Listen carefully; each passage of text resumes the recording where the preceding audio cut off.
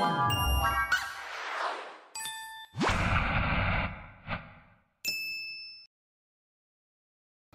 we're the Avenger family, and here's our story. There's a giant destroying our tower, and we need to defend it.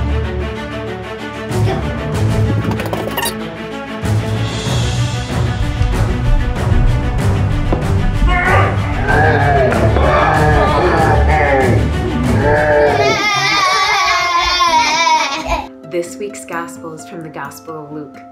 We have all heard this gospel, and it's a tough one. Jesus tells us to love our enemies, to do good to those who have hate us, to bless those who have cursed us, to forgive so we will be forgiven. Wait, Jesus told us to love our enemies. We have to help the giant up. This is a really tough message to take on, especially by ourselves. But we're not supposed to do it by ourselves. Thank you. This week, we challenge you pick out that enemy. Who is needling you?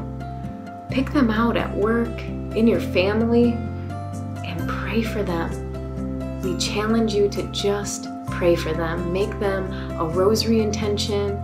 Do a quick prayer during the day when you think of them. It is tough to do, but the peace that will surround you and the peace that you will feel from Jesus will be immeasurable.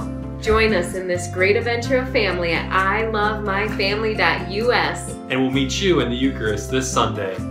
And remember how truly and deeply God, God loves you.